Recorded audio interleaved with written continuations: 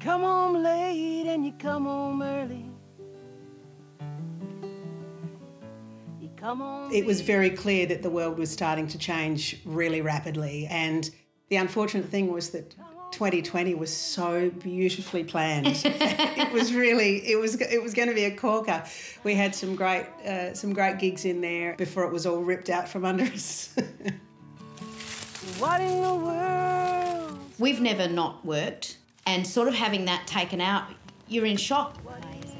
I, I really thought that music was a, an essential part of the way that this culture runs. Broken the speed of the sound. So it was hard to to take that on and say, "Wow, I'm not essential. I, I've been asked to stay home." I've been performing, I've been on stage since I was 14. We know no other way. Being on stage is a way of life for us, and we even fell in love on stage. Oh, darling. Mhm. Please believe me. We got married as soon as we possibly could on the 2nd of February 2018, which was pretty much the first day that you could get married as a same sex couple in Australia. Woohoo! Batman made a promise. Since we met, we've just been together the whole time. We tour together. We just support each other and are together really all the time. It's as cheesy as it sounds. Doing things that made her. Then he told her what to do. and 13th of March, in fact, Friday the 13th, was the last time that we performed in front of an audience, and uh, we haven't been able to since. Oh, we won't be doing that. We're still getting a show a day in the future cancelled. Cancelling all that. Would have been very easy for us to sit around and feel sorry for ourselves, but lazy is not sexy, and No. neither of us are lazy. We employ many musicians, so there is a swag of, of people that I know that live from gig to gig. And, you know, whilst we may have, you know, some savings that we can live off for a little while, I know some of these musos would be just lost. Oh, I said to Libby, I've just found what we're doing throughout this crisis. we're not going to sit down and twiddle our thumbs. Hi, everyone. Hi everyone, are you there? I knew that I wanted to do something to, to make sure that we could at least, you know, get a, a week's worth of food in their fridge. And to do that, the only outlet we've got obviously is social media and to be able to do a show online. I was looking at you before, Libby, going, you look really nice. Haven't worn makeup for about three weeks. One, two, three, four. Our fans, they got on board straight away because so many people are wondering how to help anyway. A huge shout out to Belinda and family in Orroroo who, wait for it, bought $500 worth of tickets. Through the two online concerts that we've done so far, we raised almost $14,000. Then we heard on the radio that relief centres around Australia had suddenly tripled in clientele. People saying, I need to feed my family.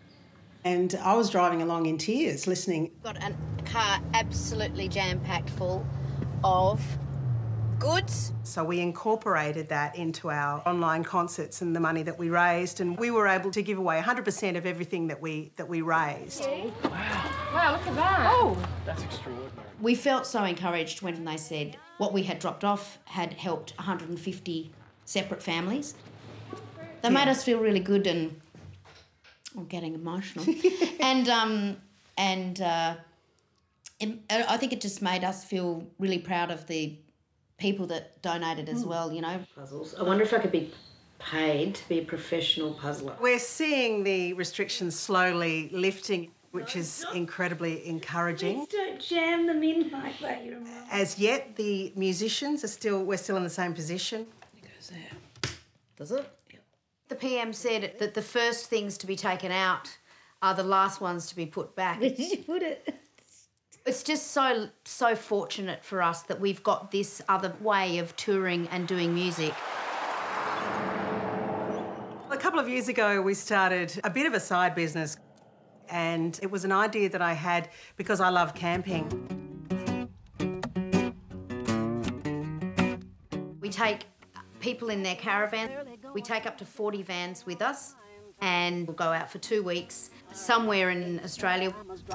We try and visit towns that people wouldn't normally go to to help support local businesses in, in these small country towns.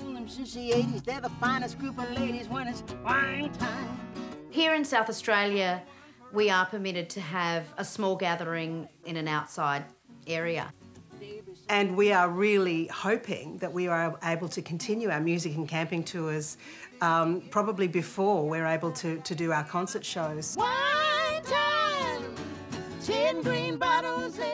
I've had some wonderful satisfaction of getting up and dressing up and being a superstar on a stage in front of great crowds. But there is something so incredibly special that is has crawled into my heart about doing it around a campfire to mm. a small group of people. I'm I'm kind of edging towards loving that the most at this point in my life. Under the stars, with people around a campfire, a few red wines. I mean, it is really sensational. One of the reasons why we were meant to be together, I think, is to do this kind of things together.